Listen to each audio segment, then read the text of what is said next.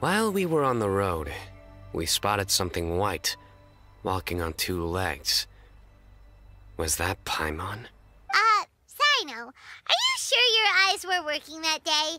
Or maybe your hood was blocking your vision? Paimon always flies. There's no way she'd ever walk. Hmm. Is that right?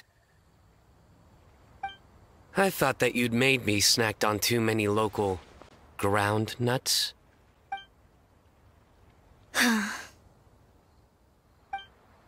No? Not funny? Ground, you know. As in ground up, but also the ground. Ground nuts make you fall to the ground. Oh, by the way, was there any reason in particular that you chose Mondstadt as your destination on this occasion? Oh, well, Lisa once told me that the Windblume Festival is one of Mondstadt's biggest events of the year. I wanted to take this opportunity to give everyone a Windblume as a token of my heartfelt gratitude for everything they've done to look after me. Calla Lily. What? Collei's Windblume. Maybe she should call it a Calla Lily.